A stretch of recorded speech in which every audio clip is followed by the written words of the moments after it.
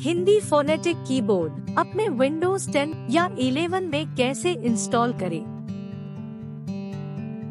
सबसे पहले अपने विंडोज़ के सेटिंग में जाएँ, फिर वह टाइम एंड लैंग्वेज पर क्लिक करें। उसके बाद लैंग्वेज एंड रीजन पर क्लिक करें। उसके बाद एड लैंग्वेज पर क्लिक कर। अपने लैंग्वेज को सर्च करें और उसे इंस्टॉल करें।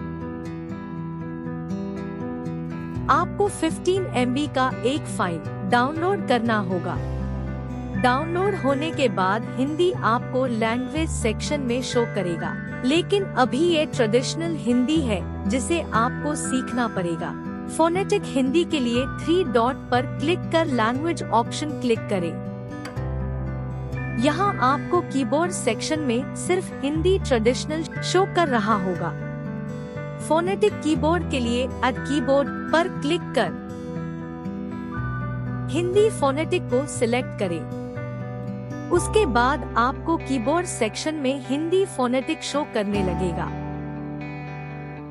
अब अगर आप इंग्लिश में टाइप करेंगे तो वो अपने आप हिंदी में टाइप होने लगेगा।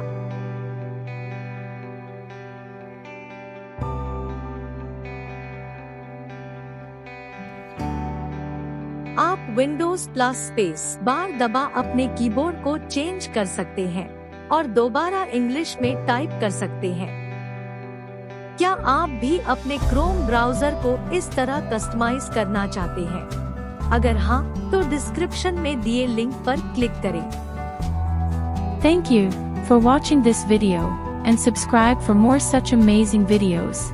And do not forget to hit the bell icon to get notified.